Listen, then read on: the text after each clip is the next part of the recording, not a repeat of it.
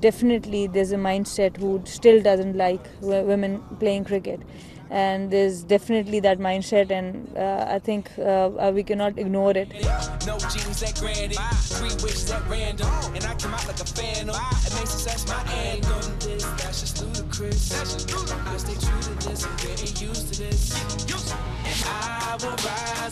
No one took us seriously.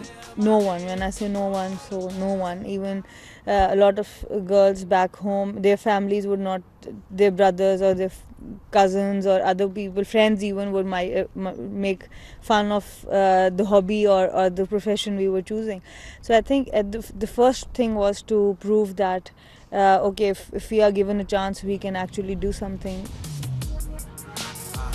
Listen. The value of opinion of a woman is not as uh, is heavily valued as as for a man. Like even if i've played cricket for 10 years and i've seen ups and downs of women's cricket globally my view sometimes might not be as important as as a as a man who would just come in and who's just who has played men's cricket or who has been in men's cricket before. But uh, that that value they might not uh, understand that at still at this point we do face that.